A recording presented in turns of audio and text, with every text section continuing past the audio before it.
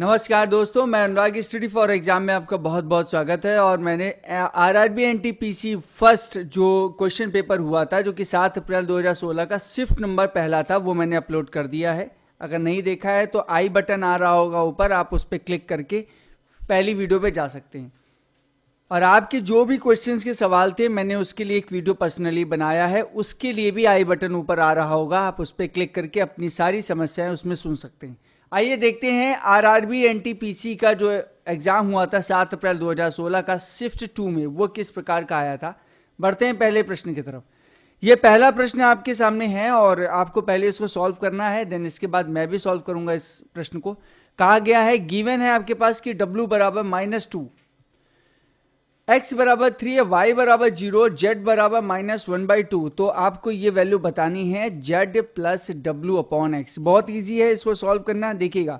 यहाँ पर आपको दिया गया है, z plus W upon X Z की जगह आपको वैल्यू रखनी है minus one by two plus यहाँ पर आपकी वैल्यू आ जाएगी माइनस टू बाई थ्री आप इसको सॉल्व करेंगे तो यह minus one minus four by two by three ठीक है?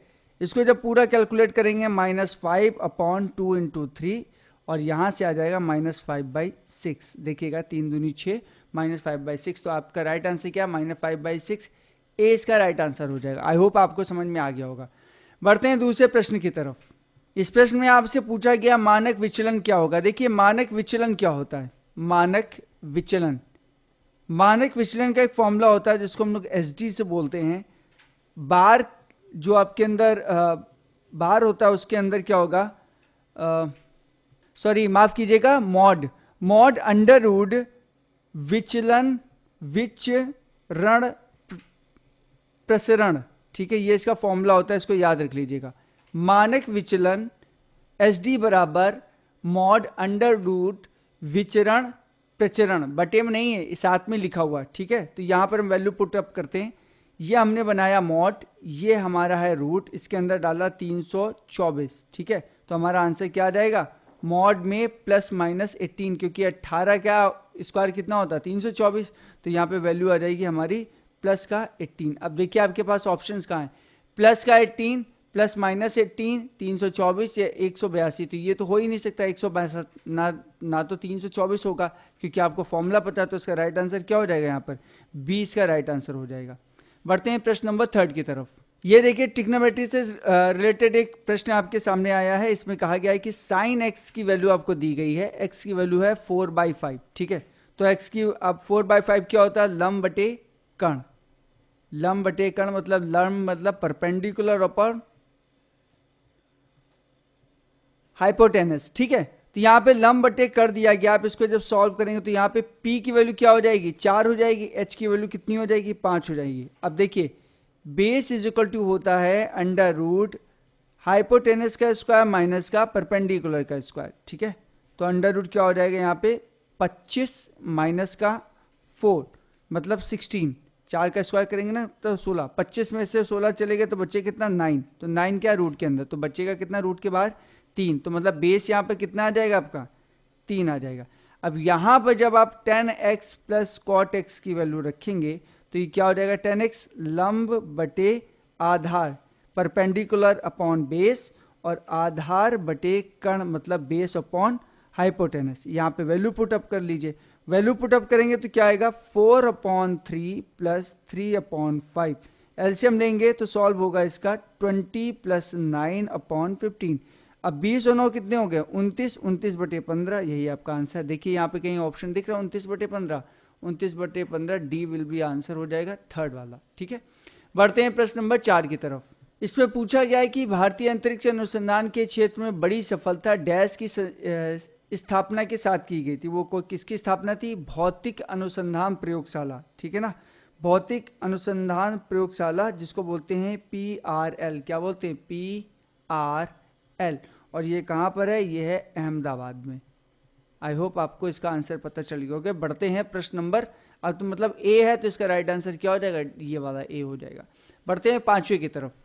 पिछला वाला जो प्रश्न पत्र था, उसका जो मैंने क्वेश्चन पेपर है, वो टेलीग्राम ग्रुप में डाल दिया है और उसका लिंक इस डिस्क्रिप्शन में पड़ा हुआ है। तो आप वहाँ से जाके स्टडी फॉर एग्ज़ाम नाम से जो टेलीग्राम चैनल है उसको ज्वाइन कर सकते हैं। आइए बढ़ते प्रश्न नंबर पाँच पर निम्नलिखित जानकारी को ध्यान से पढ़ें और उस पर आधारित उत्तर देना है आपको।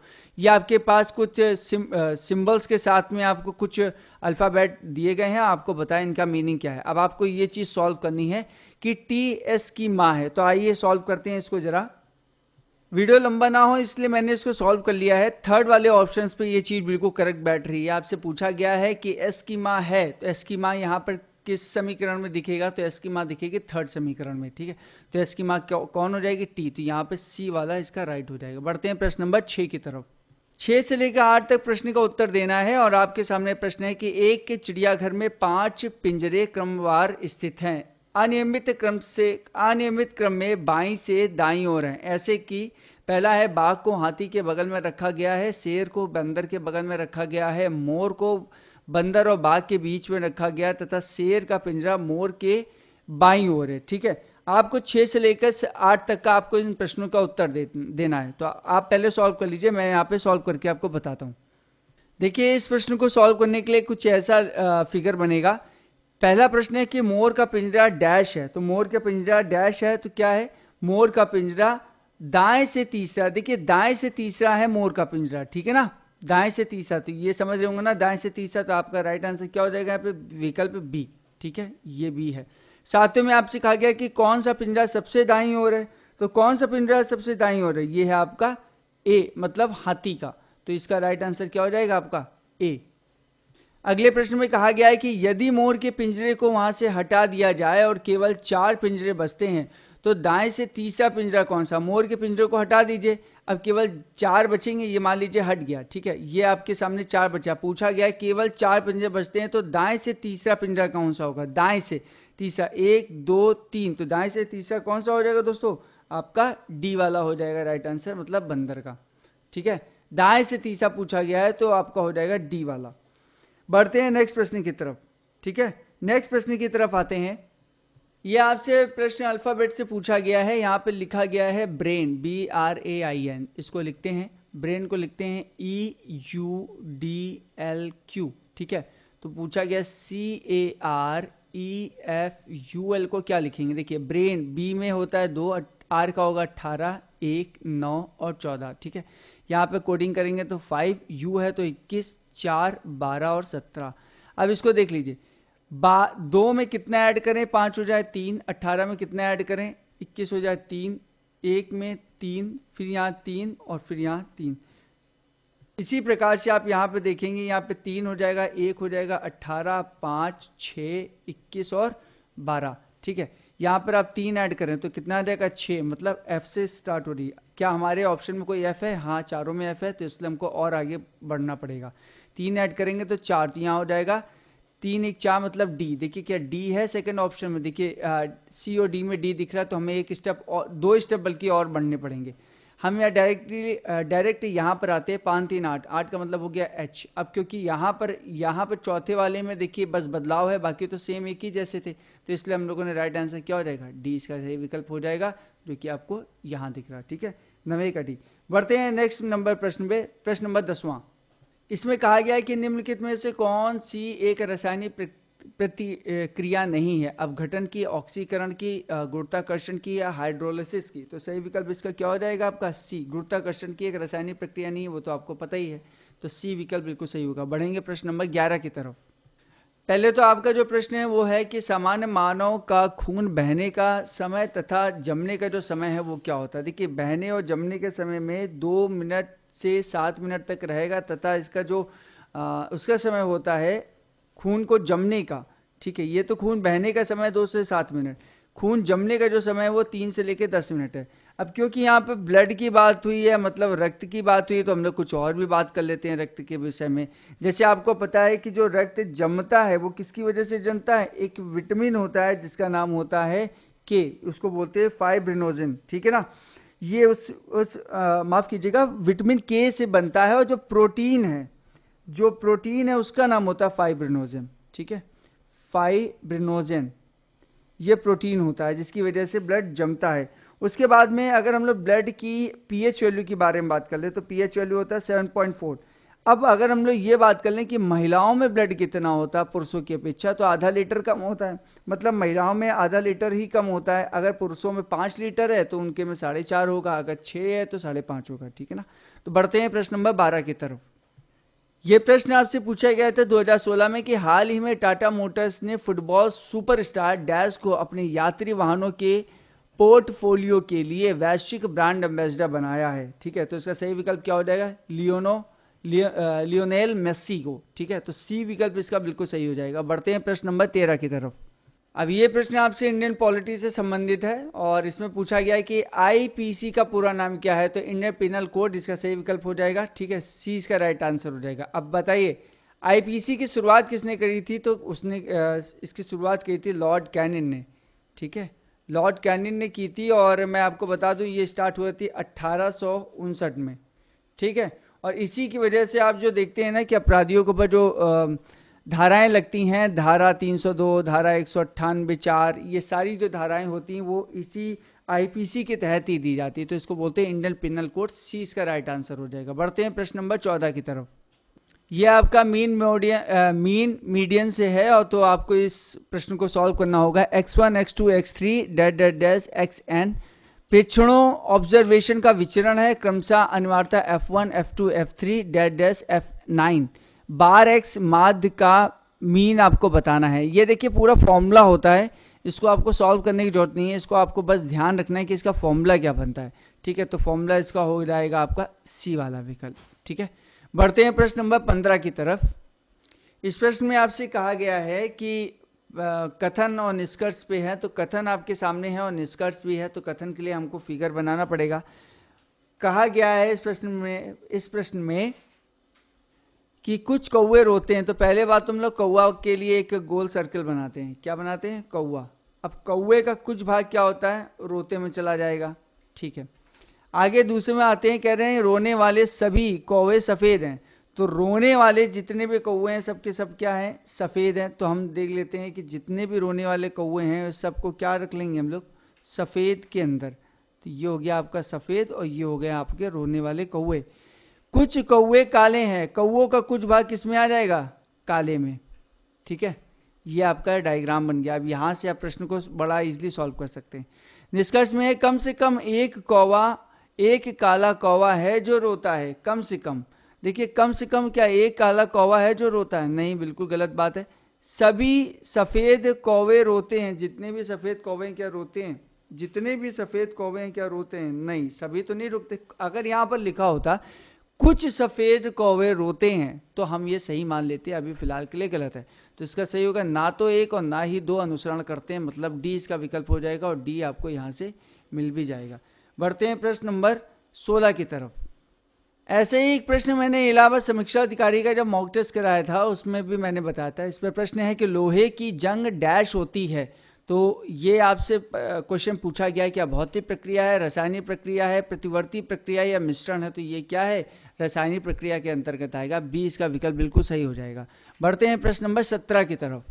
सत्रह प्रश्न को कहने से पहले मैं आपसे एक विनती करूँगा कि इस वीडियो को पूरा देखिएगा, क्योंकि बड़ी मेहनत से बन रहा है ये वीडियो और आप लोगों के लिए ही बन रहा है, ठीक है? तो इस वीडियो को पूरा देखिएगा और जो लोग स्किप करके जा रहे हैं, वो इस क्वेश्चन पेपर को देख के डर रहे हैं या तो फिर, या तो फिर उनकी जो तैयारी है वो अच्छी नहीं है। तो इसको पूरा देखिएगा, पूरे सौ क्वेश्चन सॉल्व करिएगा और अपने कमेंट में आंसर ज़रूर लिखिएगा कि आपने कितने क्वेश्चन अटैम्प्ट करें, कितने सही थे। प्रश्न सत्रह में है कि भारत का राष्ट्रीय आदर्श वाक्य क्या है? तो राष्ट्रीय आदर्श वाक्य क्या है भारत का? वो है आपका सत्यमेव जयते, जो कि आपका मुंडको उपनिषद से लिया गया है, ठीक है ना? बढ़ते हैं नेक्स्ट प्रश्न की तरफ़ तो ए विकल्प यहाँ पे बिल्कुल सही हो जाएगा। बढ़ते हैं नेक्स्ट प्रश्न की तरफ़। नेक्स्ट प्रश्न 18 नंबर।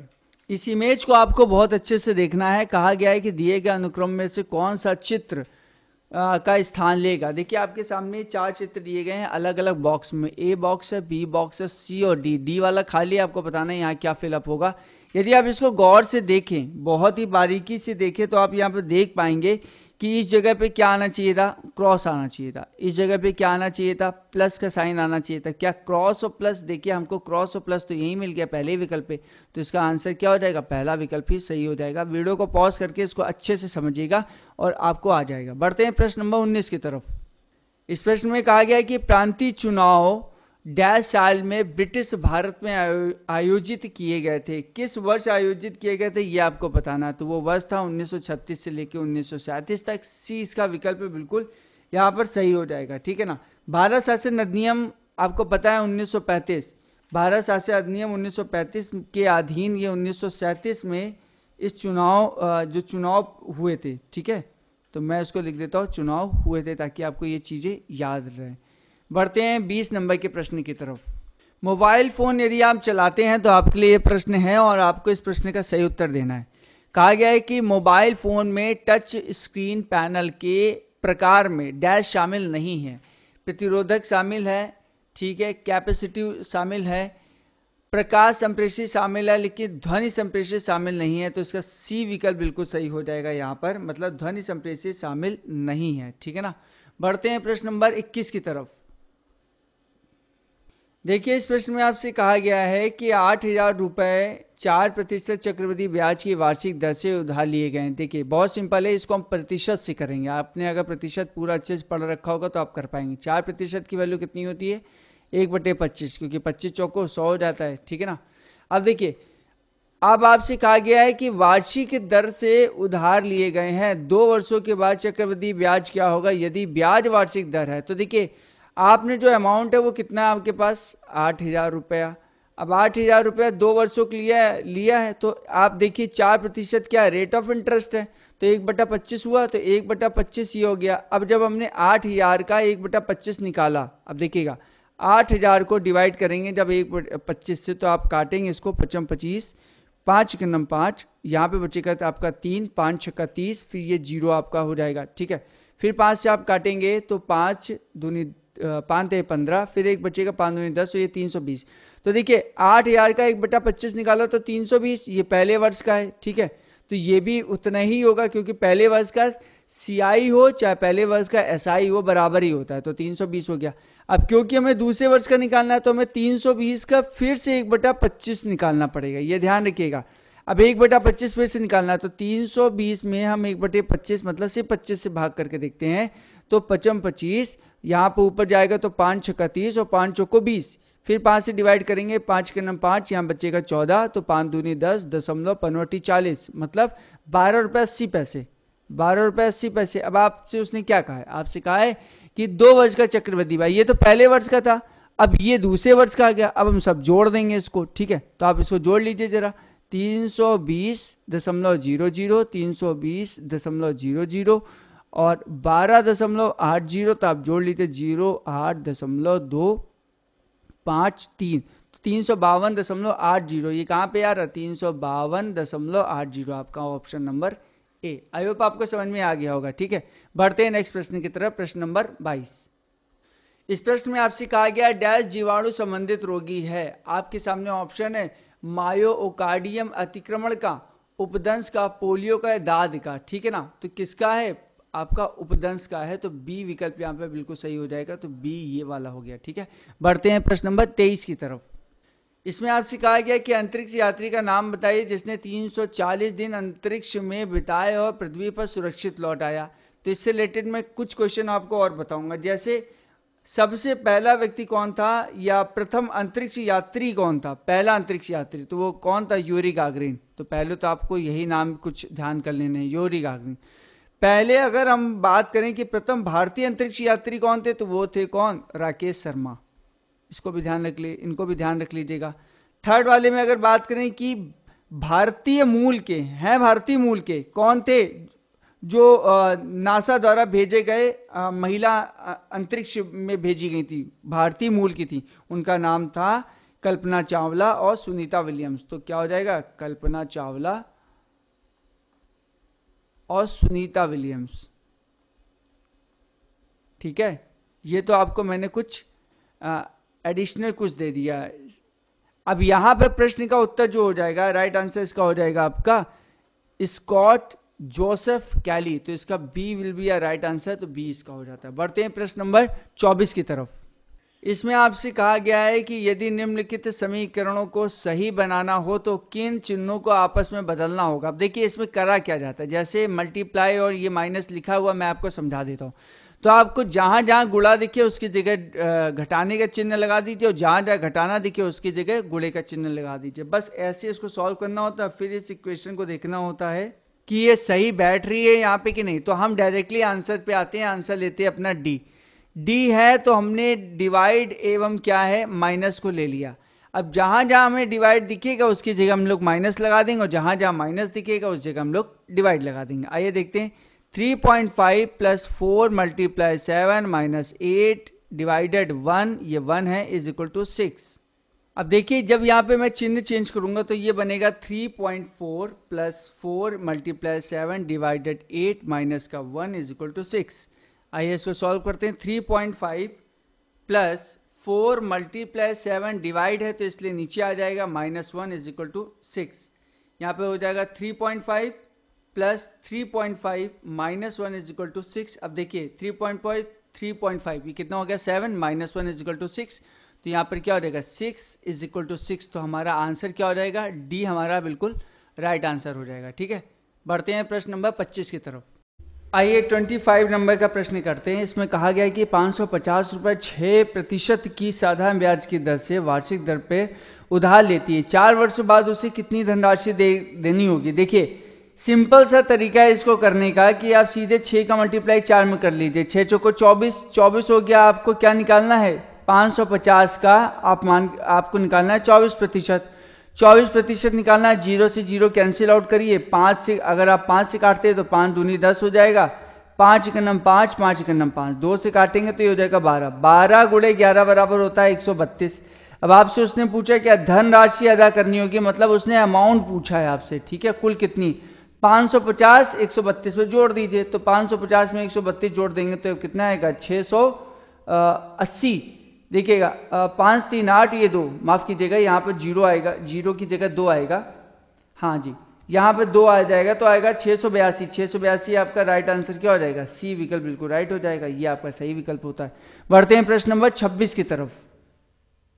इस प्रश्न में आपसे देखिए कहा गया है, क्योंकि अल्फ़ाबेट का ये प्रश्न है तो ये आपसे कहा गया है कि C O L O U R A M J M S P तो देखिए C O L O U R ठीक है? क्या वो, क्या लिखा जाता है? A M J M S P लिखा जाता है। तो डंकी को डी ओ एन के ई वाई को क्या लिखा जाएगा? आपको बताना है। देखिए सी है तीन नंबर पे, ये है पंद्रह नंबर पे, बारह नंबर पे, पंद्रह नंबर पे, इक्कीस पे और अट्ठारह पे, ठीक है? यहाँ पर एक पर, तेरह पर, दस पर, तेरह पर, फिर यहाँ पे उन्नीस और यहाँ पर हो जाएगा आपका सोलह। अब देखिए आपको यहाँ देखना है कितना बढ़ रहा है। आप कितना घट रहा है। पहले ये देख लीजिए, यहाँ पे सी था, यहाँ ए हो गया तो माइनस दो, यहाँ पर क्या हो रहा है? घट रहा है। यहाँ पे भी क्या हो रहा है? माइनस दो घट रहा है माइनस दो फिर से घट रहा है। हर जगह देखिए माइनस दो घट रहा है। तो आपके सामने जो ये है ना, इसमें हम माइनस दो घटाएँगे। डी है चार पे तो दो घटाएँगे तो आ जाएगा आपका बी ठीक है? ये होता है पंद्रह पे, दो घटाएँगे तो हो जाएगा एम देखिए बी एम से चारों ऑप्शन में, चलिए आगे बढ़ते हैं। एन होता है, चौदह पे दो घटाएँगे तो आ जाएगा आपका बारह मतलब हो जाएगा आपका के के के नहीं, एल हो जाएगा, ठीक है ना? क्योंकि के तो ग्यारह पे होता है, फिर आपका हो जाएगा ये पंद्रह पे आता आपका ये जो के है, वो ग्यारह पे आता है, ग्यारह में दो घटाएँगे तो आपका कितना हो जाएगा? नौ नौ का मतलब आई। अब देखते हैं कोई ऑप्शन ऐसा मिल रहा है B M L I B M L I देखिए B M L B M L I ये आपको एक तो ए ऑप्शन में दिख रहा है, दूसरा आपको डी ऑप्शन में दिख रहा है। कुछ और भी आगे बढ़ना पड़ेगा। ई e है पाँच में, दो घटाएँगे, आएगा सी देखिए आई सी कहाँ दिख रहा है? आई सी यहाँ दिख रहा है, सिर्फ़ डी में नहीं दिख रहा है तो इसलिए सही विकल्प क्या हो जाएगा? ए इसका राइट आंसर हो जाएगा। बढ़ते हैं प्रश्न नंबर सत्ताईस की तरफ़। आपके सामने ये चित्र दिया गया आपको पहचान करनी कि इसमें क्या चित्र, कौन सा चित्र भिन्न है? भिन्न चित्र चित्र की पहचान करनी है। देखिएगा जो इसमें आप पहला देख रहे हैं, पहली आकृति, दूसरी आकृति, और तीसरी आकृति, और चौथी आकृति तो इसका सही विकल्प क्या हो जाएगा आपका? आपका जो सी वाला विकल्प है, दूसरी आकृति, ये आपका बिल्कुल भिन्न है, बाकी सारी चीज़ें लगभग सही हैं। क्यों ऐसा है, ये आप मुझे कमेंट करके बताइएगा, ठीक है? तो सही विकल्प इसका क्या हो जाएगा? ये हो गया। बढ़ते प्रश्न नंबर अट्ठाईस की तरफ़। इस प्रश्न में कहा गया है कि अंग्रेज़ी ईस्ट इंडिया कंपनी ने खुद को भारत में डैश के दौरान स्थापित किया था। वो किस समय स्थापित किया था, आपको ये बताना। देखिए, वो किया गया था 1600 से 1616 के बीच में। तो इसका सही विकल्प क्या हो जाएगा? ए इसका सही विकल्प हो जाएगा। बढ़ते हैं प्रश्न नंबर उनतीस की तरफ़। इस प्रश्न में आपसे पूछा गया है कि बौद्ध संरचना धार्मिक स्तूप कहाँ पर स्थित है? देखिए, धार्मिक स्तूप तो सांची में स्थित है तो इसका बी विकल्प यहाँ से आपका सही हो जाएगा। लेकिन और भी बहुत सारी बातें हैं। कि आपको पता है कि सबसे ऊँचा जो स्तूप है, वो सांची का स्तूप है। सांची का स्तूप अशोक ने बनवाया था, ये भी कंफर्म कर लीजिए। और ये भी मैं बता देता हूँ कि इसमें बौद्ध साहित्य के अनुसार अशोक ने चौरासी स्तूप बनाए थे। और ये भी कहा जाता है कि सारनाथ में जो प्रथम उपदेश था, वो गौतम बुद्ध ने दिए थे। और जो कोणार्क में जो सूर्य मंदिर है, और भी बहुत सारी चीज़ें मैंने आपको यहाँ पे बता दी है, ठीक है? तो इसका सही विकल्प क्या हो जाएगा? बीस का राइट विकल्प हो जाएगा। बढ़ते हैं प्रश्न नंबर तीस की तरफ़। अब इसको आपको सॉल्व करना बहुत ईजी है। ये देखिए थ्री एक्स माइनस का फोर यहाँ पर है टू एक्स प्लस का फाइव आप, आपको सॉल्व करना है तो ये क्या हो जाएगा यहाँ पे? थ्री एक्स माइनस का। यहाँ एट से मल्टीप्लाई करा देंगे फोर से तो ये हो जाएगा एट एक्स प्लस का। आप चाहे तो यहाँ पे माइनस हो जाएगा। माफ़ कीजिएगा, यहाँ माइनस का बीस हो जाएगा, ठीक है? माइनस का ट्वेंटी तो ये माइनस का ट्वेंटी ठीक है? आगे बढ़ेंगे तो इसमें से आप देखेंगे 3x और 8x लेस हो जाएगा तो बचेगा क्या? 5x माइनस का 20 चाहे तो आप माइनस कॉमन कर लीजिए। अब क्या माइनस कॉमन करके ऑप्शन है? नहीं तो इसका डी इसका विकल्प हो गया तो इसका यही राइट आंसर हो जाता है। बढ़ते हैं प्रश्न नंबर 31 की तरफ़। इस प्रश्न में कहा गया है कि अंकुर एक बस 15 प्रतिशत की हानि पर पंद्रह हज़ार तीन सौ रुपए में बेचता है। उसे पंद्रह प्रतिशत लाभ प्राप्त करने के लिए बस को कितनी कीमत पे बेचना चाहिए? देखिए अंकुर जब बेचता है पंद्रह हज़ार तीन सौ रुपए की हानि पर तो रुपए में बेचने पर उसको कितने प्रतिशत की हानि होती है? पंद्रह प्रतिशत की उसको क्या हो जाती है? हानि हो जाती है। अब कह रहे हैं कि बस का क्रय मूल बोला है। बस का क्रय मूल हम लोग जरा देखते हैं कि क्रय मूल उसका क्या होता है। तो पंद्रह हज़ार तीन सौ का हम निकालेंगे कितना? पिचासी प्रतिशत। जब पिचासी प्रतिशत इसको कैलकुलेट कर रहे होंगे तो हमारे पास आएगा आपका अट्ठारह हज़ार रुपए। अब हमको पाना है पंद्रह प्रतिशत का लाभ। अब पंद्रह प्रतिशत का लाभ पाने के लिए हम क्या करेंगे? अट्ठारह हज़ार रुपए का निकालेंगे एक सौ पंद्रह प्रतिशत। और जब हम लोग एक सौ पंद्रह प्रतिशत निकाल रहे होंगे तो हमारा आएगा यहाँ पर कितना? बीस हज़ार सात सौ रुपया। यही हमारा हो जाएगा यहाँ पर उत्तर। तो बीस हज़ार सात सौ रुपए हमारा डी विकल्प है। डी विकल्प आपका ये है। बढ़ते हैं प्रश्न नंबर बत्तीस की तरफ़। इस प्रश्न को आप देखिए, कहा गया है कि स्नेहा एक स्थान से चलकर उसी स्थान पर राइडिंग करते हुए वापस आने में 9 घंटे 20 मिनट का समय लेती है। वह चलते हुए दोनों रास्ते 11 घंटे 20 मिनट में तय कर सकती है। उसे राइडिंग करते हुए दोनों रास्तों का, दोनों ओर का रास्ता तय करने में लगने वाला समय क्या होगा? आपके सामने ऑप्शंस हैं, इनको देखना है और इसका सही विकल्प बताना है। तो इसका राइट विकल्प दोस्तों क्या हो जाएगा? ए विकल्प इसका बिल्कुल सही हो जाएगा। आप इसको सॉल्व करिएगा। यदि नहीं आता है तो कल की वीडियो में मैं इस प्रश्न का ज़िक्र करूँगा सबसे अंत में। ठीक है ना? अगर आपको ये प्रश्न नहीं आता है तो मुझे कमेंट करके बताइएगा कि, सर क्वेश्चन नंबर बत्तीस मुझे नहीं आया तो मैं दूसरी जो वीडियो अपलोड करूँगा कल वाली, सात अप्रैल 2016 का शिफ्ट थर्ड उसमें मैं आखिरी में बत्तीस नंबर का क्वेश्चन पूरा सॉल्व करके बताऊँगा। बढ़ते हैं प्रश्न नंबर तैतीस की तरफ़।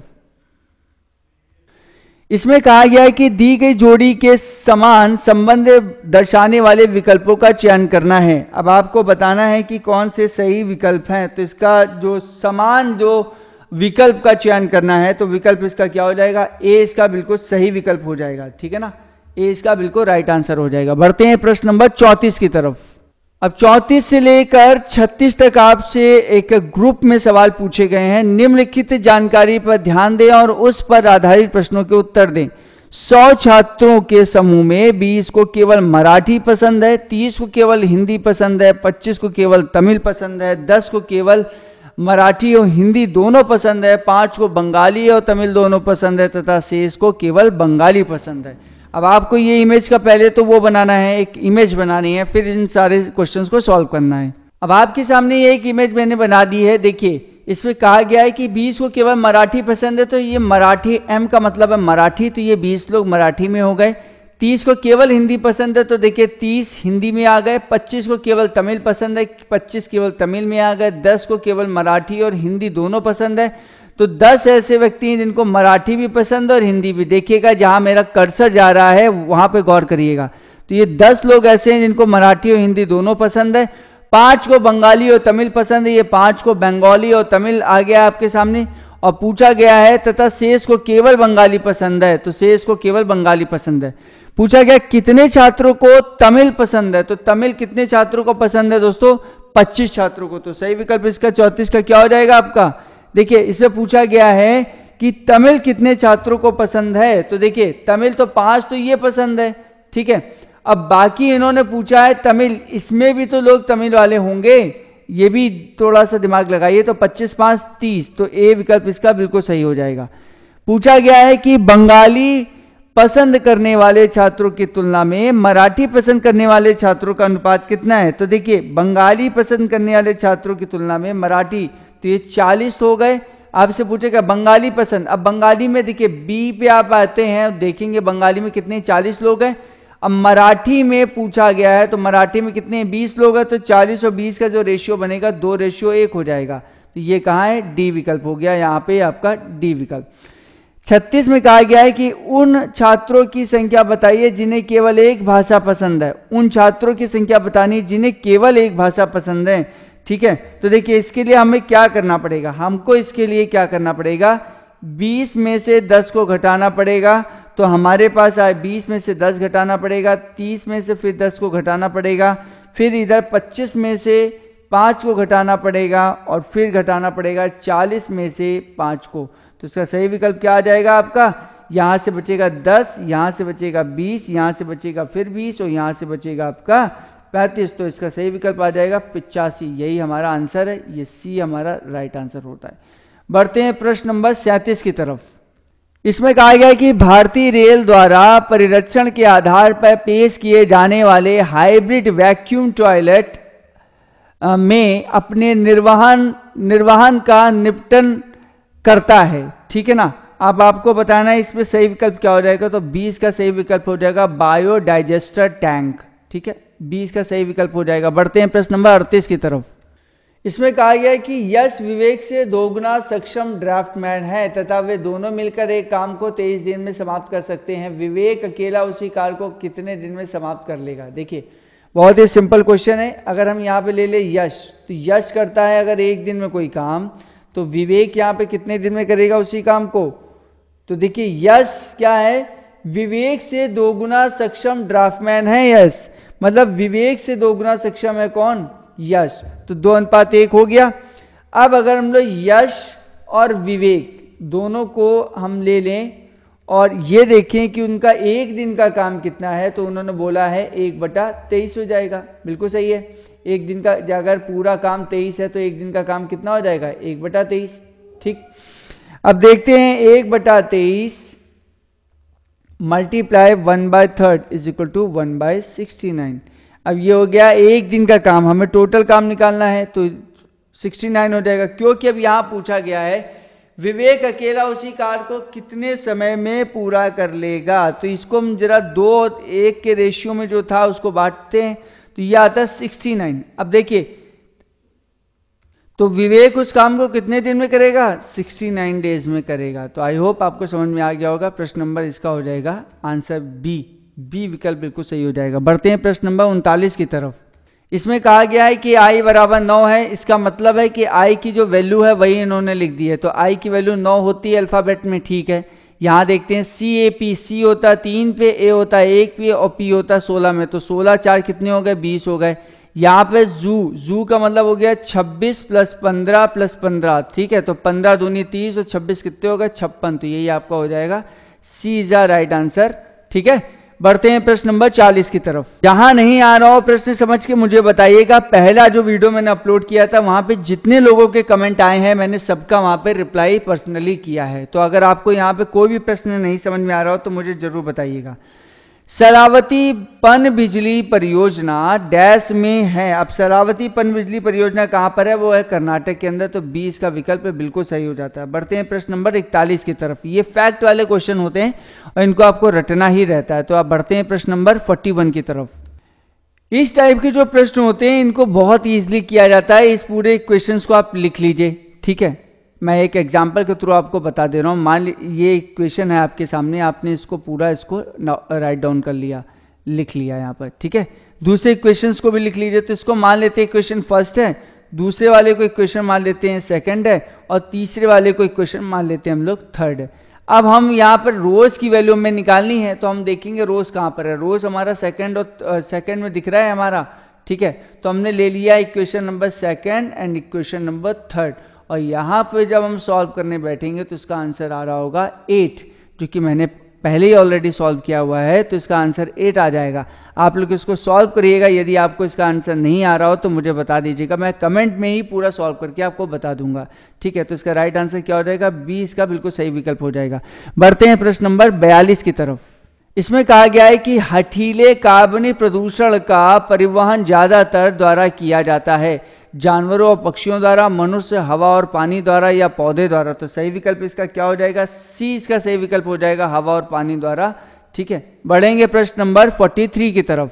बहुत ही इजी प्रश्न है और इसको आपको बहुत ही आसानी से करना होगा। अंडर रूट में 12 लिखा है इंटू अंडर रूट में 27 तो हम इस 12 के फैक्टर कर सकते हैं। कितना? दो मल्टीप्लाई दो इंटू तीन। इस 27 के भी फैक्टर कर लेंगे, क्या आएगा? आ जाएगा three multiply three into three अब हम देखेंगे इस दो से ये हमारा एक क्या बन रहा है? जोड़ा बन रहा है। इस तीन से एक हमारा जोड़ा बन रहा है। इस तीन से हमारा एक जोड़ा बन रहा है। तो हो रहा है तीन तय नौ दूनी अट्ठारह यही सही विकल्प हमारा क्या हो जाएगा? सी बिल्कुल बिल्कुल इसका राइट आंसर हो जाएगा। बढ़ते हैं प्रश्न नंबर चवालीस की तरफ़। इसमें आपसे कहा जा रहा है कि चार जोड़ी शब्द दिए गए हैं। इनमें से आपको भिन्न बताना है। ठीक है एक्वाटिक्स फ़िश दिया गया है, बाकी आपको चारों को पढ़ना है तो इसका सही विकल्प यहाँ से हो जाएगा आपका डी है जो भिन्न है तो डी इसका विकल्प बिल्कुल राइट आ जाएगा, ठीक है ना? बढ़ते हैं प्रश्न नंबर 45 की तरफ़। आपसे कहा गया कि दिए गए अनुक्रम में कौन सा जो चित्र का स्थान लेगा, ये आपको बताना है, इसकी जगह चित्र का स्थान कौन सा लेगा, ये बिल्कुल सही आपको तरीके से बताना है तो इसका सही विकल्प हो जाएगा बी बी इसका राइट आंसर हो जाएगा, आप इसको जब मैच करेंगे कि कहीं वर्ग है अंदर तो कहीं वृत्त बाहर है, कहीं रेक्टेंगल अंदर है तो कहीं रेक्टेंगल बाहर है, उस हिसाब से इसका बी आंसर आ जाएगा। बढ़ते हैं प्रश्न नंबर छियालीस की तरफ़। हालाँकि इस प्रश्न को आप चाहें तो छोड़ भी सकते हैं, क्योंकि ये 2011 को ये मतलब पूछा गया उसके रेफरेंस में। हालाँकि मैं आपको बता देता हूँ, पूछा गया कि डैश को 21 जून 2011 को दूसरे कार्यकाल के लिए संयुक्त राष्ट्र में महासचिव के रूप में फिर से निर्वाचित री इलेक्ट्रेट किया गया था, ठीक है? री इलेक्टेड किया गया था, ये किसको किया गया था? तो इसका सही विकल्प हो जाएगा वान की मून को तो बीस का राइट आंसर हो जाएगा। आप चाहें तो इस क्वेश्चन को स्किप भी कर सकते हैं। तो बढ़ते हैं प्रश्न नंबर 47 की तरफ़। पर आपसे कहा है, मूलभूत अधिकारों में से ज़्यादातर हमारे संविधान के कहाँ से लिए गए आपको बताना है 12 से 35 के बीच में लिए गए हैं तो 20 का राइट आंसर हो जाएगा। 36 से इक्यावन तो नीति निर्देशक तत्व तो है, आपको पता है। डायरेक्टिव प्रिंसिपल्स ऑफ़ स्टेट भाग चार में है और मूल अधिकार हमारे अमेरिका से लिए गए हैं, भाग तीन में है। तो इसका राइट आंसर यहाँ पे बी फिलअप हो जाएगा, ठीक है? बढ़ते हैं प्रश्न नंबर अड़तालीस की तरफ़ 48 की तरफ़। इसमें कहा गया है कि किसी भी सुरक्षित वेबसाइट के यूआरएल में सुरक्षा प्रमाण पत्र पैडलॉक का रंग कैसा होता है तो वो होता है दोस्तों हरे कलर का। तो 20 का राइट आंसर हो गया। बढ़ते हैं प्रश्न नंबर 49 की तरफ़। एक रीजनिंग का प्रश्न आपके समक्ष फिर से आ गया है, आपको देखना है इसका सही विकल्प क्या होगा D C B A I H G F ठीक है ना? और आगे आपके सामने दिया गया है एस आर क्यू पी पहले हम पैटर्न देख ले डी सी बी ए में क्या पैटर्न चल रहा है, ठीक है? डी सी बी ए के अंदर क्या पैटर्न चल रहा है, ये देख लेते हैं इसको। डी सी बी ए यहाँ लिखा है आई एच जी एफ़ देखिए डी हमारी जो वैल्यू है डी की जो हमारी वैल्यू है वो है चार इसकी तीन एक और आ, दो और एक ठीक है? आई की वैल्यू नौ है ये आठ हो जाएगा सात और छ अब देखिए चार से नौ के बीच में कितने की गैप है? आपके समक्ष है पाँच का गैप है। तो अगर इसमें हम पाँच जोड़ देंगे तो हम लोग किसमें आ जाएँगे? ये देखिए मैंने इसको पूरा सॉल्व कर दिया है। आप इसको देख सकते हैं। I G I H J I H G F उसमें अगर पाँच पाँच की यहाँ बढ़ोतरी हो रही तो यहाँ पे भी जब पाँच की बढ़ोतरी करेंगे तो कुछ देखिए आपको ये चीज़ देखने को पैटर्न मिलेगी, जो कि मैंने आपको यहाँ पर बता दिया है, ठीक है ना? तो ये आएगा एन एम एल के तो सही विकल्प क्या हो जाएगा आपका? सी विकल्प बिल्कुल सही हो जाएगा, और सी आपका यहाँ लिखा हुआ है, ठीक है? बढ़ते हैं प्रश्न नंबर पचास की तरफ़। इसमें कहा गया है कि पीसीबी का फुल फॉर्म बताना है, बहुत सिंपल है पीसीबी का फुल फॉर्म क्या हो जाएगा? प्रिंटेड सर्किट बोर्ड तो सी इसका विकल्प हो जाएगा राइट आंसर बढ़ेंगे प्रश्न नंबर इक्यावन की तरफ़। कहा गया है कि एक आयत की लंबाई दो सेंटीमीटर है, एक ये आयत आपके समक्ष है, इसकी जो लंबाई है ये आपकी दो सेंटीमीटर की है, फिर आपसे कहा है इसकी जो चौड़ाई है वो चार सेंटीमीटर की है, चौड़ाई इसकी चार सेंटीमीटर की है, ठीक है ना? ये भी इसकी लंबाई क्या हो जाएगी? दो सेंटीमीटर की हो जाएगी। अब आपसे क्या कहा गया है? कहा गया है कि विकर्ण की लंबाई सेंटीमीटर में ज्ञात करनी है। ये विकर्ण है, इसकी लंबाई सेंटीमीटर में ज्ञात करनी है। तो ये तो एक 90 डिग्री का एंगल बन गया, ठीक है? तो इसको सॉल्व करने के लिए क्या करेंगे? एडी की वैल्यू निकालनी होगी ना हमें। ये अगर हम इसको दे देते हैं, कोई नेमिंग दे देते हैं ए बी सी डी मान लीजिए हमने दे दिया, ये ए है, ये हमारा बी है, ये हमारा सी है, ये हमारा डी है। तो देखिए ए बी सी डी में ए डी बराबर क्या हो जाएगा हमारे पास में? अंडर रूट में ए बी का स्क्वायर प्लस बी डी का स्क्वायर ओके ए बी का स्क्वायर प्लस बी डी का स्क्वायर तो हो जाएगा यहाँ पर अंडर रूट में टू का स्क्वायर प्लस फोर का स्क्वायर मतलब चार प्लस सोलह. चार सोलह कितना हो जाएगा? बीस हो जाएगा. जब ये रूट से निकलेगा तो हो जाएगा टू रूट फाइव आप देखिए दो का स्क्वायर करेंगे चार और चार पंजे बीस। तो ये टू रूट फाइव सेंटीमीटर हो जाएगा। यहीं पे आपका आंसर है। टू रूट फाइव सेंटीमीटर विकल्प नंबर आपका हो जाएगा ए बढ़ते हैं प्रश्न नंबर बावन की तरफ़। जगह पर आपसे कहा गया है कि रोगों को फैलाने वाले कीड़ों को डैश कहा जाता है। ट्रांसमीटर वेक्टर ट्रांसपोर्टर या लिम्फ्ट तो इसका सही विकल्प क्या हो जाएगा? आपका बी हो जाएगा। वेक्टर कहा जाता है। जो भी कीड़े रोग फैलाते हैं। ठीक है ना? बढ़ते हैं प्रश्न नंबर त्रेपन की तरफ़। इस प्रश्न में कहा गया है आपसे कि निम्नलिखित में से कौन सा नौ विकसित हरे गैस वैसैले सेल्यूलोज एरोजेल्स के संबंध में सच है? ठीक है?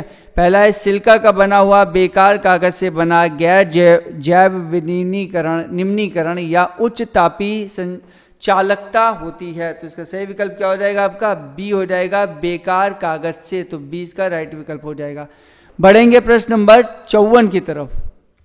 रीजनिंग का प्रश्न है, आपको सॉल्व करना है। देखिए, आइए सॉल्व करते हैं। यहाँ पर जो दो लिखा है, इसको हम लिख सकते हैं ए क्यूब प्लस वन लिख सकते हैं ना? एक का क्यूब करेंगे, एक वो प्लस वन जोड़ देंगे तो दो। यहाँ सात लिखा हुआ है तो हम इसको लिख सकते हैं, दो का क्यूब माइनस का वन मतलब आठ में से एक गया सात। चलिए, यहाँ पर लिखा हुआ अट्ठाईस। इसको हम लोग लिख सकते हैं तीन का क्यूब माइ प्लस का वन ठीक है ना? तीन तय नौ नौ दिन सत्ताईस, एक अट्ठाईस, ठीक है? इसके बाद सिक्सटी थ्री लिखा हुआ है। सिक्सटी थ्री को हम लोग क्या लिख सकते हैं? चार का क्यूब माइनस वन ठीक है ना? चौसठ में से एक घटाएँगे तो आ जाएगा तिरसठ। तो यहाँ पे क्या हो जाएगा? पाँच का क्यूब प्लस का वन मतलब कि 125 में एक जोड़ दिया तो 126 तो यहाँ क्या हो जाएगा? सही विकल्प आपका 126 सी इसका राइट आंसर हो जाएगा। बढ़ते हैं प्रश्न नंबर 55 की तरफ़। इसमें आपसे कहा गया है, निम्न में से कौन सा गर्मी के प्रवाह से संबंधित नहीं है? गर्मी के प्रवाह से। पहला है कंडक्टिव रेफ्रेक्टिव रेडिएक्टिव या कन्वेक्टिव तो सही विकल्प इसका हो जाएगा आपका बी मतलब रिफ्लेक्टिव तो बी इसका राइट विकल्प हो जाएगा। बढ़ेंगे प्रश्न नंबर छप्पन की तरफ़।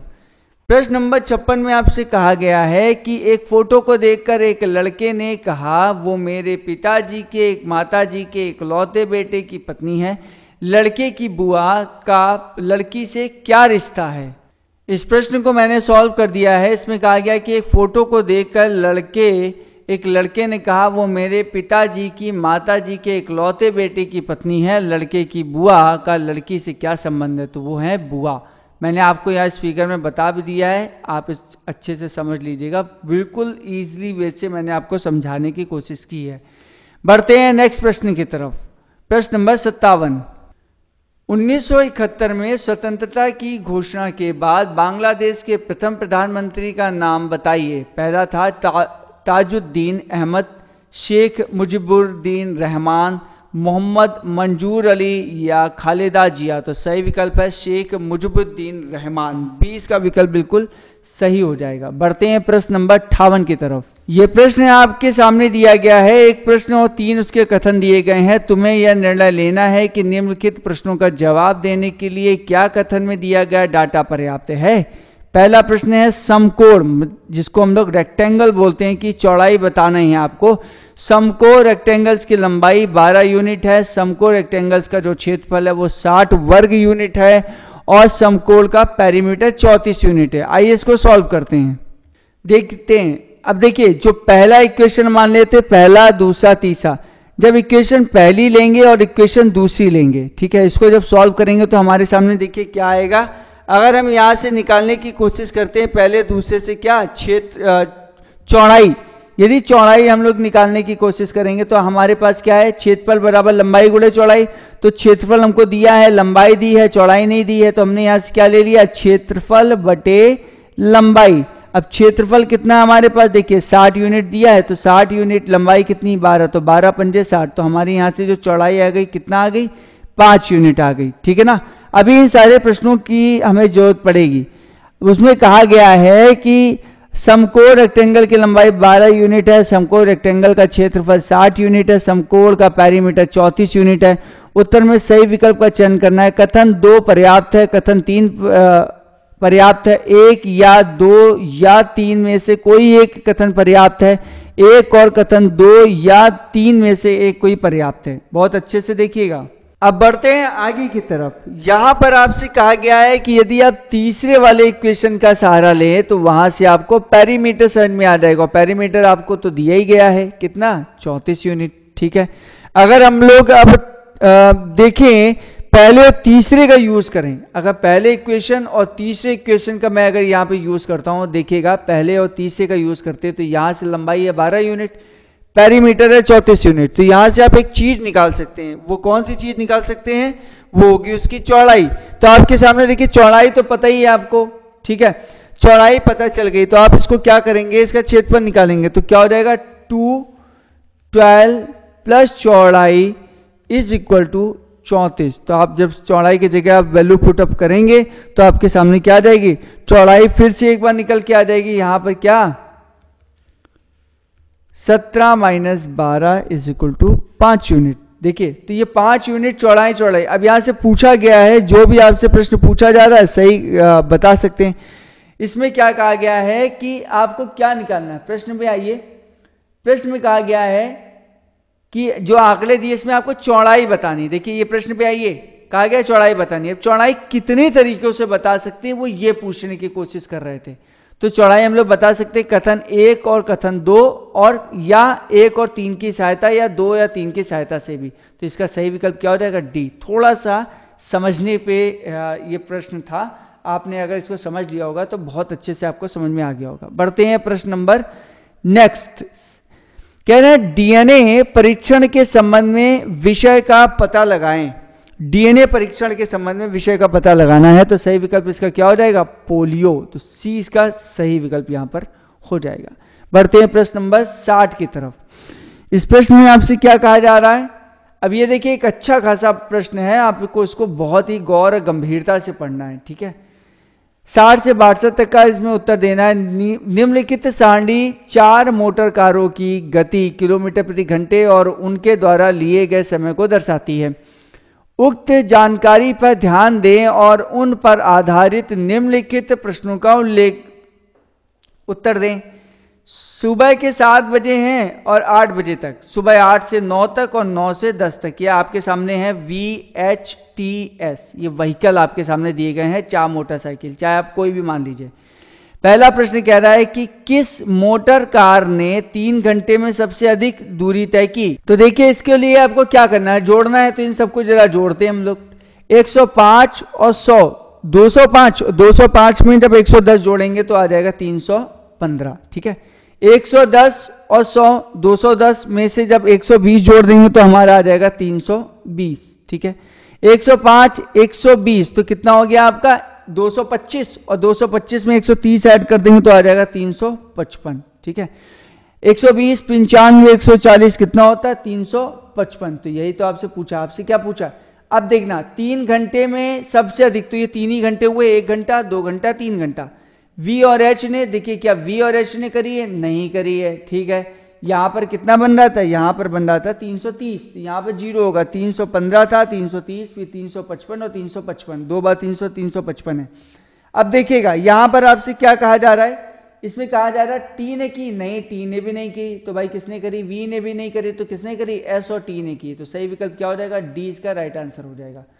बढ़ते हैं प्रश्न नंबर इकसठ की तरफ़। कहा गया है कि मोटर कार एच एवं टी की औसत गति के बीच का अंतर क्या है? ये आपको बताना है। देखिए मोटर कार एच और टी के औसत गति के बीच का अंतर क्या है? एच और टी बात हो रही है एच और टी के बीच में। देखिए एच का अगर हम लोग एवरेज निकालेंगे तो एच का एवरेज क्या आ रहा है? तीन सौ, हमारे पास 330 आया। 330 में अगर तीन से डिवाइड एवरेज क्या होता है? Total numbers upon total observation तो ऑब्जर्वेशन हमारे पास तीन है तो ये हो जाएगा 330 बटे तीन। तो कितना आ जाएगा? डिवाइड करेंगे 110 110 ठीक है? अब आपसे क्या कहा जा रहा है? एच और टी की औसत आयु के अंतर। तो ये तो एच का निकल आया। टी का निकालेंगे तो 105 ये कितना गया था? 355 355 में जब आप तीन से डिविजिबल करेंगे तो आपके सामने ऑप्शन क्या आ जाएगा?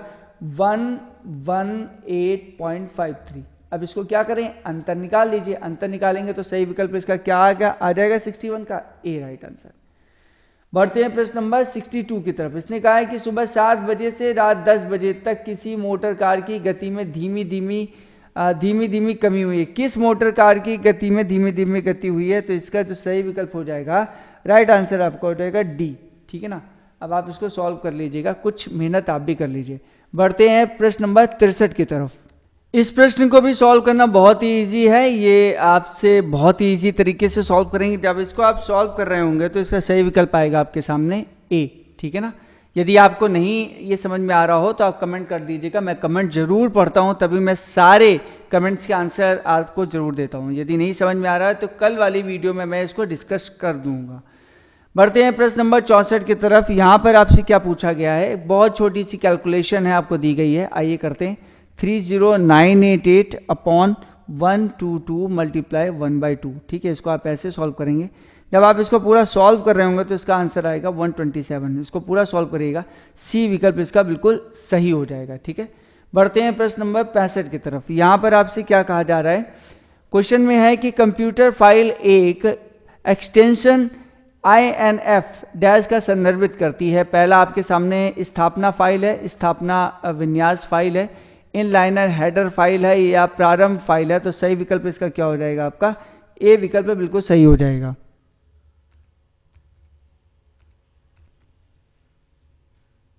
प्रश्न में कहा गया है कि डैश कचरे में एक कार्बनिक अपशिष्ट होता है। पहला है प्लास्टिक बैग, धातु, सब्ज़ी के चिकले या ग्लास। तो इसका सही विकल्प क्या हो जाएगा? सी हो जाएगा सब्ज़ी के चिकले ठीक है? बढ़ते हैं प्रश्न नंबर सड़सठ की तरफ़। यहाँ पर आपसे क्या कहा जा रहा है? एक बहुत छोटा सा, बहुत ही छोटा सा प्रश्न है। कहा जा रहा है, तीन सौ पचास को एक सात आठ नौ के अनुपात में विभाजित करना है। उनके संबंधित अनुपात में तो एक साथ कितना हो गया? आठ आठ आठ, सोलह, और सोलह नौ कितने हो गए? सोलह नौ पच्चीस तो ये देखिए, पच्चीस बराबर है तीन सौ पचास के तो आप सॉल्व कर सकते हैं बहुत ईजिली ठीक है? तो इसका सही विकल्प क्या आ जाएगा? तो इसका राइट आंसर आ जाएगा। आइए मैं सॉल्व ही कर देता हूँ। पच्चीस बराबर है तीन सौ पचास के, ठीक है?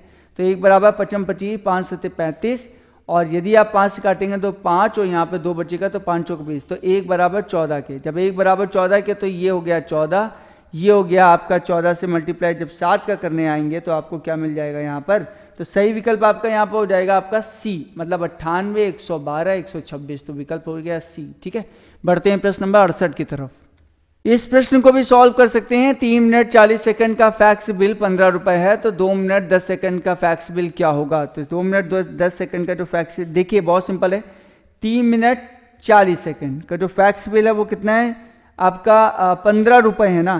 कितना है? पंद्रह रुपए, ठीक है? तो ये हो गया आपका पंद्रह रुपए। तो चाहे तो आप इसको पहले यूनिट को बदल सकते हैं। मैं लिख देता हूँ, यहाँ पे पंद्रह रुपए हो गया, ठीक है? अब आप इसको चाहें तो पूरे सेकंड में बदल सकते हैं तो एक मिनट में साठ सेकंड तो एक मिनट में अगर साठ है तो तीन मिनट में कितने हो गए छह दुनी बार छत्तीस अट्ठारह एक सौ अस्सी, एक सौ अस्सी में चालीस जोड़ देंगे तो कितना आ जाएगा आपका? दो सौ बीस तो दो सौ बीस है आपका पंद्रह रुपए में तो एक बराबर कितना हो जाएगा? पंद्रह बटे दो सौ बीस। अब इसको आप जब सॉल्व करेंगे तो इसको सॉल्व करना है आपको। अब यहाँ पे बोला गया दो मिनट दस सेकंड में तो दो मिनट दस सेकंड में आपकी बात कही गई है तो ये हो रहा है आपके सामने। कितना? पंद्रह इंटू एक सौ बीस, पंद्रह बटे दो सौ बीस तो ये ऐसे ही हो गया था। और आपके सामने 130 तो यहाँ पे 130 से मल्टीप्लाई कर दीजिए तो सही विकल्प इसका आ जाएगा। 15 इंटू एक तेरह बटे बाईस इज़ इक्वल टू हो जाएगा 195 ninety five upon twenty two ठीक है? राइट आंसर इसका कितना हो जाएगा? आप इसको जब डेसिमल में लाएँगे तो 8.86 डेसिमल आ जाएगा। तो सी विकल्प इसका बिल्कुल सही हो जाता है। ठीक है? इसका सॉरी सी विकल्प सही हो जाएगा। मैंने बी पे टिक कर दिया है। तो इसका सी विकल्प बिल्कुल सही हो जाता है। बढ़ते हैं प्रश्न नंबर 69 की तरफ़। इस प्रश्न में आपसे क्या कहा जा रहा है कि आपको ये दो दिए गए हैं एस्पेयर और डिजर्व तो आपको बताना आर्क्स क्यू के बगल में क्या आने वाला है तो इसके बगल में आने वाला है आपका क्रॉक। तो बी इसका राइट आंसर हो जाएगा यहाँ से। बढ़ते हैं प्रश्न नंबर सत्तर की तरफ़। यहाँ पर आपके सामने देखते हैं क्या प्रश्न है। कह रहा है कि माउंट एवरेस्ट की चोटी समुद्र के स्तर से लगभग कितनी ऊँची है? तो वो है ऊंचाई उसकी आपकी चौबीस हज़ार फुट की, ठीक है? तो इसका विकल्प हो जाएगा आपका। सी विकल्प बिल्कुल यहाँ पर सही हो जाता है। बढ़ते हैं प्रश्न नंबर इकहत्तर की तरफ़। यहाँ पर आपसे कहा जा रहा है कि मानव उपग्रह का पहला सफल कच्छी प्रक्षेपण के बारे में पूछा जा रहा है। तो इसका सही विकल्प क्या हो जाएगा आपका? राइट विकल्प हो जाएगा ए। माफ़ कीजिएगा, सही उत्तर इसका, सोवियत संघ हो जाएगा, ए नहीं, सी इसका राइट आंसर हो जाएगा, ठीक है? बढ़ते हैं प्रश्न नंबर बहत्तर की तरफ़। देखते हैं बहत्तर नंबर के प्रश्न में क्या है। यहाँ पर आपसे क्या कहा जा रहा है? कह रहे हैं कि दो संख्याओं का गुणनफल आपको इतना दिया गया है, लासा ये है तो उनका मासा पूछना, बहुत ही सिंपल ये तो प्रश्नों की श्रेणी में आता है। आइए इसको सॉल्व करते हैं। इस प्रश्न को जब सॉल्व करने बैठेंगे तो आप देखेंगे तो ये तीन हज़ार दो सौ छिहत्तर है, दो संख्याओं का प्रोडक्ट है मतलब पहला और दूसरी संख्या का प्रोडक्ट है। ये आपके सामने एलसीएम दिया हुआ है तो एलसीएम में सिक्सटी थी और एस की बात है तो ये एस है, ठीक है ना? तो ये एस है। अब इसको सॉल्व करेंगे तो एच सी एफ़ टू कितना हो जाएगा आपका?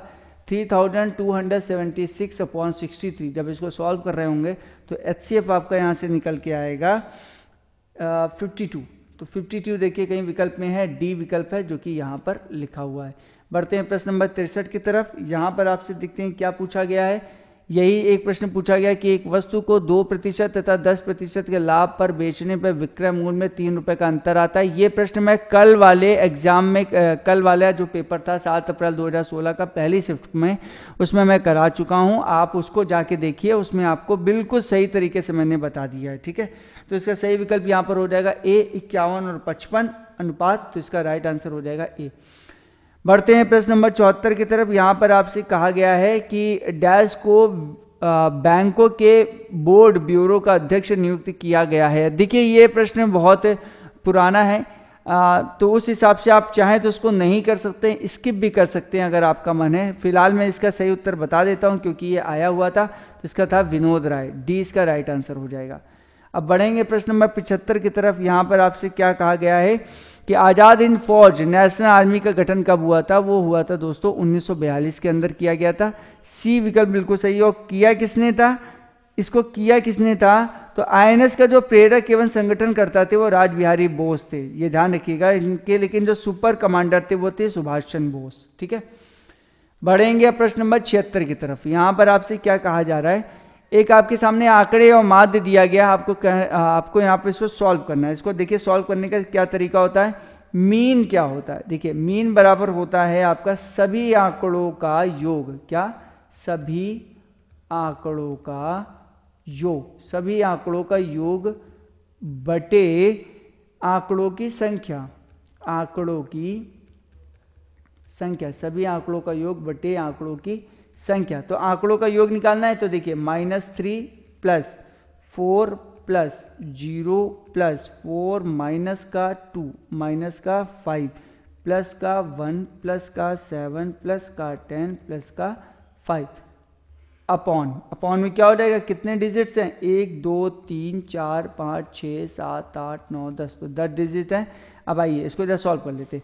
इसको जब सॉल्व करेंगे आप, क्योंकि बहुत ज़्यादा टाइम हो जाएगा, यदि मैं एक एक पॉइंट करके बताऊँगा तो इकतीस में से दस चला गया बटे दस तो यहाँ आ जाएगा इक्कीस बटे दस। इसका मतलब होगा दो दशमलव एक। सही विकल्प क्या हो जाएगा? दो दशमलव एक। बी विकल्प इसका बिल्कुल सही हो जाएगा। बढ़ेंगे प्रश्न नंबर सतहत्तर की तरफ़। यहाँ पे आपसे बोला गया है। अब आपके सामने देखिए एक रीजनिंग का क्वेश्चन है। हार्डी ने कहा लॉरेंस की आंटी मेरे पिता के ससुर की पहली बेटी है, मेरी नानी की केवल दो बेटियाँ हैं। लॉरेंस का हार्डी से क्या संबंध है? तो इसको संबंध क्या हो जाएगा? इनका बेटे का हो जाएगा। बीस का राइट आंसर है। बढ़ते हैं प्रश्न नंबर अठहत्तर की तरफ़। यहाँ पर आपसे क्या कहा जा रहा है? कहा गया है कि दो संख्याओं का जो अनुपात है वो थ्री तीन और आठ है। इसका एस सी सत्रह है तथा इसका एल्सियम ज्ञात करना है।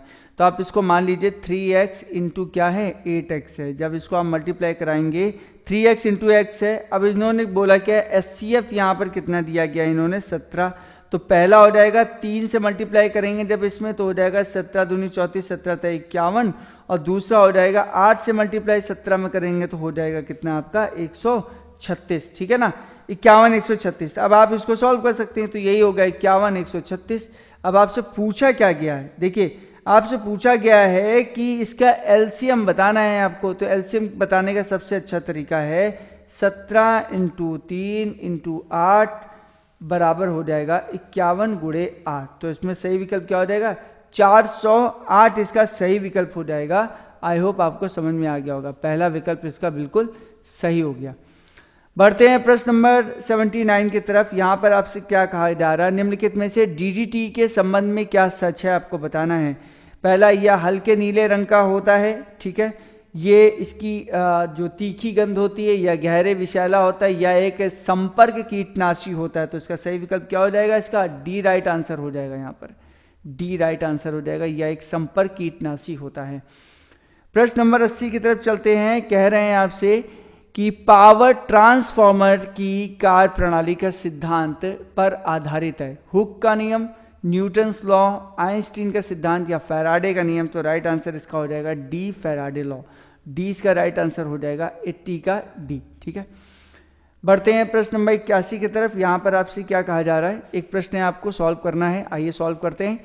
फोर अपॉन ट्वेंटी एट ठीक है? जब ये पलट जाएगा तो ये कितना हो जाएगा? Thirty five upon twenty eight फिर पलट जाएगा तो कितना हो जाएगा? One one two upon twenty अब सॉल्व कर लीजिए। पाँच चौको चार पंजे तो यहाँ पाँच हो जाएगा, पाँच सत्ते, पैंतीस हो जाएगा, ठीक है? आप इसको पूरा सॉल्व करेंगे तो इसका राइट आंसर एक आ जाएगा, जो कि आपका विकल्प नंबर डी हो जाएगा। चलिए। आई होप आपको समझ में आ रहा होगा। दोस्तों, हम लोगों का स्टडी फॉर एग्ज़ाम्स का एक टेलीग्राम चैनल भी है, उसको भी ज्वाइन कर लीजिएगा। तो ये सारा जो क्वेश्चन पेपर कराया जा रहा है एक एक दिन का एक दिन में जो तीन शिफ्ट हुए थे, सभी क्वेश्चन पेपर आपको यहाँ अपलोड कर दिए जाएँगे। और आप चाहें तो वीडियो के थ्रू भी देख लीजिए, या आप डायरेक्टली क्वेश्चन को भी सॉल्व कर सकते हैं। बढ़ते हैं प्रश्न नंबर बयासी की तरफ़। यहाँ पर आपसे क्या कहा जा रहा है कि एक नियमित बहुभुज में प्रत्येक बाहकोण 36 डिग्री का है तो उसकी भुजाओं की संख्या ज्ञात करनी है आपको। कितनी होगी भुजाओं की संख्या? देखिएगा। बहुभुज का जो कोण है वो उन्होंने दिया गया है 36 डिग्री का, ठीक है ना? तो सम बहुभुज के बाह कोण का योग कितना होता है? बाह बाह कोण का योग, मैं लिख देता हूँ उसको। बाह्य कोण का योग, बाह्य कोण का योग होता है यहाँ पर 360 बटे एन। तो अब ये है 360 यहाँ पे मैं थोड़ा सा इसको अच्छे से लिखता हूँ ताकि आपको समझ में आ जाए। 360 बटे एन बराबर दिया है 36 तो आप जब एन की वैल्यू यहाँ से दिखे निकालेंगे तो एन बराबर आ जाएगा आपका 10 तो यही तो है भुजाओं की संख्या, क्योंकि एन क्या भुजा है तो इसका सी आंसर बिल्कुल राइट हो जाएगा। पढ़ते हैं प्रश्न नंबर 83 की तरफ़। यहाँ पे बोला गया है कि निम्नलिखित में से आपको पढ़ना है पूरा और पढ़ के इसके सही आंसर देने हैं, ठीक है? एक विशेष शहर में केवल जेड के के विकल्प ही लोगों को फ़िल्में देखने का एकमात्र विकल्प है। शहर के अधिकांश लोगों को वहाँ विकल्प दे वहाँ फ़िल्म देखना पसंद नहीं है परंतु वे मजबूर हैं। बाज़ार क्षेत्र में स्पर्धा होनी चाहिए एक अधिकार नहीं। ठीक है? तो सही इसका राइट आंसर क्या हो जाएगा? आप जब क्वेश्चन पढ़ेंगे तो इसका सही उत्तर डी आएगा। मैं आ, पूरा मैंने प्रश्न नहीं पढ़ाया आप इसको वीडियो को पॉज करके पूरा प्रश्न पढ़ सकते हैं। बढ़ते हैं प्रश्न नंबर 84 की तरफ़। यहाँ पर आपसे क्या कहा जा रहा है? इसमें कहा जा रहा है कि एक पतंग का, एक पतंग की घूड़ी समरूपता का क्रम है। तो इसका सही विकल्प क्या हो जाएगा? राइट आंसर हो जाएगा। सी इसका राइट आंसर हो जाएगा। ठीक है? अभी हम लोग ऊपर वाले प्रश्न की तरफ़ गए थे तो 83 था। आप पूरा जब पढ़ेंगे तो उसी से रिलेटेड आपको दिखेगा। ठीक है? देखते हैं नेक्स्ट नंबर का प्रश्न मतलब 85 पे। कहा जा रहा है इस प्रश्न में आपसे कि निम्नलिखित में से निम्नलिखित कथनों को पढ़ें और उस पर आधारित प्रश्नों के उत्तर दें। एक तबले में अट्ठानवे गायें हैं, तबेले में। उसमें बावन बीमार हो गई हैं। उन सभी बीमार गायों में ग्यारह को छोड़ सभी बच गई हैं। नौ नई गाय तबेले में लाई गई हैं। दूध वाले को तबेले में कितनी गाय मिली? देखिए, सिंपल सा है, तबेले में कुल गायें कितनी थी? 98 थी, ठीक है। बावन बीमार गाय मरने वाली जो बावन बीमार गाय थी वो क्या हो गई? बावन जब बीमार हो गई इसमें तो अट्ठान बावन में से जब ग्यारह मरने वाली थी ना तो ग्यारह को हमने क्या कर दिया? लेस कर दिया। तो कितना आ जाएगा? एट्टी सेवन, ठीक है ना? और इसमें नई और आ गई, कितनी? नौ आ गई। तो अब देखिए, एट्टी सेवन और एट्टी नाइन और हो जाएगा एट्टी सिक्स। तो सही उत्तर इसका आपको कितना मिल जाएगा? सॉरी इसको राइट आंसर हो जाएगा एट्टी सिक्स, नहीं नाइन्टी सिक्स। नाइन्टी सिक्स इसका राइट आंसर यहाँ पर आपको देखने को मिल जाएगा, ठीक है? तो इसका विकल्प क्या हो जाएगा? नाइन्टी सिक्स मतलब कि बी विकल्प बिल्कुल सही हो जाएगा यहाँ से। बढ़ते हैं प्रश्न नंबर छियासी की तरफ़। यहाँ पर आपसे कहा जा रहा है कि नेटवर्क एक कंप्यूटर नेटवर्क और ऑपरेटिंग सिस्टम है, जिसे डैश द्वारा विकसित किया गया था। तो किसके द्वारा विकसित किया गया था? नावेल के, नोवेल के द्वारा। ठीक है ना? तो सी इसका विकल्प बिल्कुल सही होगा। इसमें कहा गया है कि राष्ट्रीय मानवाधिकार आयोग एन एच आर सी के सातवें अध्यक्ष के रूप में हाल ही में किसने कार्यभार संभाला है? ठीक है ना? तो ये किसने ये उस समय का प्रश्न था तो इसका राइट आंसर उस समय था एच एल दत्तू जी ने। बी इसका राइट आंसर हो जाएगा। बढ़ेंगे प्रश्न नंबर अट्ठासी की तरफ़। यहाँ पर आपसे क्या कहा जा रहा है? इसमें कहा जा रहा है आपसे कि 2000 के अंत में डैश डेविस कफ देशों की आईएफटी रैंकिंग की सीट्स पर है। तो आपको बताना है कि कौन सा सीट्स पे था। ये उस समय का प्रश्न है, जब 2016 में पेपर हुआ था। तो इसका सही उत्तर हो जाएगा ग्रेट ब्रिटेन बीस का विकल्प सही है। बढ़ते हैं प्रश्न नंबर 89 की तरफ़। यहाँ पर आपसे कहा गया है कि दी गई संख्याओं में से कौन सा आरोही क्रम सही है? आरोही क्रम का सही है one by three point three two by eight. तो इसका आरोही क्रम आप जब लगाने जाएँगे तो ये होगा two by eight point three one by three तो इसका सी विकल्प बिल्कुल सही हो जाएगा। बढ़ते हैं प्रश्न नंबर 90 की तरफ़। यहाँ पर आपसे क्या कहा जा रहा है? इस प्रश्न में कहा जा रहा है कि एंटीबायोटिक डैश कवक से प्राप्त किए जाते हैं। किस प्रकार के कवक से प्राप्त किए जाते हैं? पेनिसलिन से। तो सी विकल्प यहाँ पर सही हो गया। अब बढ़ते हैं प्रश्न नंबर इक्यानवे की तरफ़। यहाँ पर आपसे क्या कहा गया कि कौन सा खेल इस समूह का सदस्य नहीं है? हॉकी। पूछा जा रहा है कौन सा खेल इस hockey cricket, basketball, kabaddi. Kabaddi नहीं है तो सी इसका विकल्प हो जाएगा। बिल्कुल सही। ठीक है ना? 91 का सी अब बढ़ेंगे प्रश्न नंबर बानवे की तरफ़। यहाँ पर आपसे कहा जा रहा है कि गणना करनी है 600 6660 डिवाइडेड 148 माइनस का। सैतालीस, आपको पता है भाग, गुणा, जोड़, फिर घटाना। तो पहले हम लोग भाग करेंगे। इसको जब कट कट करेंगे तो हमारे पास उत्तर क्या आ जाएगा इसमें? 45 45 में से 47 घटा देंगे तो आ जाएगा हमारे पास दो। तो राइट आंसर इसका हो जाएगा ए ठीक है? बढ़ेंगे 93 की तरफ़। यहाँ पर आपसे कहा जा रहा है इस प्रश्न में तो 2.1 पॉइंट वन इंटू थ्री इन दोनों को बस सिंपल से मल्टीप्लाई कराना था तो सही विकल्प इसका हो जाएगा आपके सामने। अब देखिए, अब इन्होंने मल्टीप्लाई करा के डिवाइड भी कराया, दशमलव को छोड़ा नहीं है, ठीक है? अब दशमलव नहीं आंसर है तो इसका सही विकल्प क्या हो जाएगा? बी हो जाएगा 189 एट्टी नाइन बाई ट्वेंटी ठीक है? तो बी इसका राइट आंसर हो गया। बढ़ते हैं प्रश्न नंबर 94 की तरफ़। यहाँ पे कहा गया है कि 10 ए की वैल्यू 15 बाई एट दी गई है 10 बी की वैल्यू 7 बाई ट्वेंटी दी गई है ए माइनस बी की वैल्यू है। देखिए कौशिक ए माइनस बी की अगर पहले बात करें, सबसे पहले तो आपको यहाँ से 10 से वैल्यू निकालनी पड़ेगी, और भी अलग वैल्यूज़ की, और भी अलग मानों की। जैसे मैं कहूँ कि 10 ए से फिर आपको 10 बी या तो दिया ही गया है 7 अपॉन ट्वेंटी ठीक है ना? अब यहाँ पे देख लीजिएगा, आप जो टेन ए की वैल्यू है, फिफ्टीन बाई एट, अब यहाँ से आप निकालेंगे क्या? टेन बी की वैल्यू। अब टेन बी, ये टेन है, ए है, और यहीं से टेन बी की वैल्यू निकालेंगे, फिर यहाँ से टेन ए की वैल्यू निकालेंगे, फिर कॉस ए माइनस बी का जो फॉर्मूला होता है, ये फॉर्मूला तो होता नहीं कॉस का कोई भी, क्योंकि फॉर्मूला सिर्फ़ होता है साइन का कॉस का टेन का कॉट का।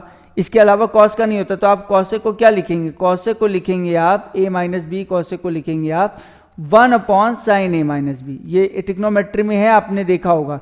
अब one upon sine A minus B का पूरा फॉर्मूला लगा दीजिए। Sine A cos B minus cos A sine B इसको सॉल्व करेंगे तो आपका सही विकल्प आ जाएगा।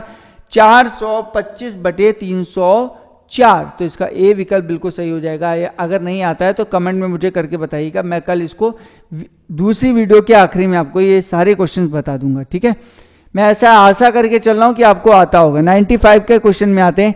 डैश ने बांग्लादेश में आयोजित 2016 एशियन कप टी जीता था।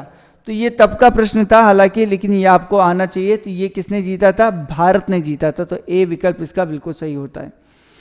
बढ़ते हैं प्रश्न नंबर छियानवे की तरफ़। आपसे कहा गया है कि कौन सा चोल राजा ने मालदीप के द्वीपों पर दरियाई विजय प्राप्त कर ली थी? किस चोल शासक ने? तो वो एक चोल शासक हुआ करता था, उसका नाम था राज राजा। ठीक है, राजा राजा, उसको बोलते हैं। हालाँकि इनका नाम था राजा राजा या राज राजा। ठीक है ना, ये चोल के संस्थापक थे। अब चोल वंश के संस्थापक कौन थे, ये बताइए। वो थे विजयालय। याद रखिएगा, मैंने आपको एक पॉइंट और बता दिया। बढ़ते हैं प्रश्न नंबर 97 की तरफ़। ये आपको छोटी सी इक्वेशन दी है इसको आपको सॉल्व करना है। इस 10 को इधर ले जाइए तो यहाँ पर हो जाएगा आपका माइनस का 10 बराबर एक्स अपॉन हंड्रेड यहाँ पर ले जाएँगे तो यहाँ पे आपको क्या हो जाएगा? जीरोस बढ़ जाएँगे वन टू तो ये हो जाएगा माइनस का वन थाउज़ेंड तो ये सी विकल्प आपका बिल्कुल आ, सही हो जाएगा। बढ़ते हैं प्रश्न नंबर अट्ठानवे की तरफ़। यहाँ पर आपसे क्या कहा गया है कि राज क्रमशः दो किलोमीटर प्रति घंटा, चार किलोमीटर प्रति घंटा, आठ किलोमीटर प्रति घंटा की गति से बराबर दूरी चलता है। कुल बावन दशमलव पाँच मिनट का समय लगता है। कुल दूरी किलोमीटर में ज्ञात करनी है, ये आपको बताना है। ठीक है ना? कुल दूरी ज्ञात करनी है तो इसका राइट आंसर क्या हो जाएगा? इसका डी विकल्प बिल्कुल सही हो जाएगा, जब आप इसको सॉल्व करेंगे। अगर नहीं आपको आए तो मुझे कमेंट सेक्शन में ज़रूर बताइएगा। हालाँकि ये क्वेश्चन है बहुत ईजी बढ़ते हैं प्रश्न नंबर 99 की तरफ़। यहाँ पर आपसे क्या कहा गया है कि आपको बहुत ही इजी क्वेश्चन है, एक दुकानदार फल खरीदने और बेचने में कम तौल का उपयोग करके सात प्रतिशत का धोखा देता है तो कुल प्रतिशत लाभ कितना होगा? देखिए, इस प्रकार के जो प्रश्न होते हैं, आप इसको एक फॉर्मुलेस कर सकते हैं seven plus seven plus seven multiply seven by hundred और ये क्या है? प्रतिशत वैल्यू है। तो इसका सही उत्तर क्या आ जाएगा? चौदह plus forty nine by hundred यहाँ पे दशमलव लग जाएगा तो फोर्टीन में आपने ऐड कर दिया पॉइंट फोर नाइन तो ये आपका हो जाएगा यहाँ पे फोर्टीन पॉइंट फोर नाइन तो ये बी विकल्प आपका यहाँ पे बिल्कुल सही हो जाएगा ठीक है? बी विकल्प। सौ वाले प्रश्न पे आते हैं। यहाँ पर आपसे कहा जा रहा है कि एक टैंक में दो छेद है पहला छेद नौ मिनट में खाली कर देता दूसरा छेद आठ मिनट में खाली कर दे, कर देता। यदि रिसाव एक स्थान दर से हो रहा है तो दोनों टैंकों में आ, कितनी देर लगेगी? इस प्रश्न को करते हैं, देखिए, एक पहला ए वाला है, वो नौ है, ये दूसरा आठ है, दोनों का एल्सियम हो जाएगा बहत्तर, ये करेगा आठ में करेगा नौ में। अब आपसे पूछा, दोनों टैंकों को उसने क्या कर दिया है? खोल दिया है, ठीक है तो ये दोनों हो जाएँगे आठ, सात आठ, नौ हो जाएँगे सत्रह सत्रह बराबर बहत्तर के तो एक बराबर बहत्तर बटे सत्रह के। इसको जब कट करेंगे तो कितना आ जाएगा? आप इसको सॉल्व करेंगे तो इसका राइट आंसर क्या आ जाएगा? चार सही, चार बटे सत्रह, यही इसका सही विकल्प हो जाएगा डी। ठीक है? आई होप वीडियो अच्छा लगा होगा। वीडियो अच्छा लगा हो कोई भी डाउट हो, तुरंत कमेंट कर दीजिएगा। मैं अगले वीडियो में जो कल कराऊँगा वीडियो चार जो इसी शिफ्ट की कराऊँगा, सात अप्रैल 2016 के शिफ्ट की थर्ड वाला जो पेपर सॉल्व कराऊँगा, उसके आखिरी में सारे क्वेश्चन मैं सॉल्व बता दूँगा जो आपको नहीं आ रहे होंगे। तो आज के लिए इतना ही।